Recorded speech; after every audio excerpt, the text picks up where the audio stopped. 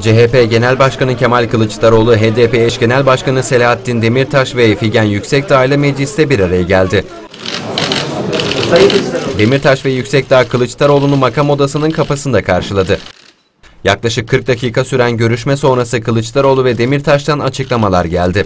Bu ziyaret bizim için çok önemliydi. Halkların Demokratik Partisi olarak da kim diyalogdan yana bir adım atarsa biz kendisine doğru 10 adım atmayı görev olarak biliriz. CHP Genel Başkanı görüşmenin ayrıntılarını aktardı. Terörden duyduğumuz, yaşanan olaylardan duyduğumuz endişeleri karşılıklı olarak dile getirdik.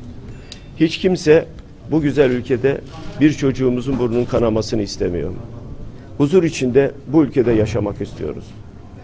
Ayrışan siyaset bizi bu noktaya getirdi. Türkiye'yi bu noktaya getirdi. Hepimiz büyük bir endişe duyuyoruz. Kılıçdaroğlu'na Başbakan Ahmet Davutoğlu'nun Ankara'daki saldırıda PKK ve IŞİD organizasyonu var açıklaması soruldu. Sayın Davutoğlu olayların yoğunluğu ve ağırlığı altında ezilen bir kişi.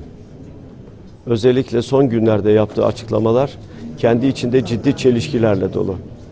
O nedenle yapılan bu açıklamaları büyük bir endişeyle izliyorum. İki bakanı azletmeli. Bunu yapmadığı takdirde emin olun hangi olay olacak ki bu bakanlar istifa etsinler? Hangi olay?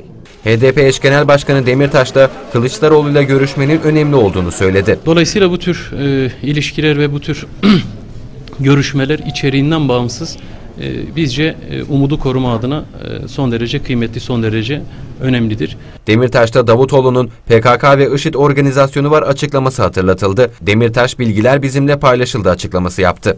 Faillerin Suruç ve Diyarbakır e, katliam failleriyle bağlantılı olduklarını ilk gün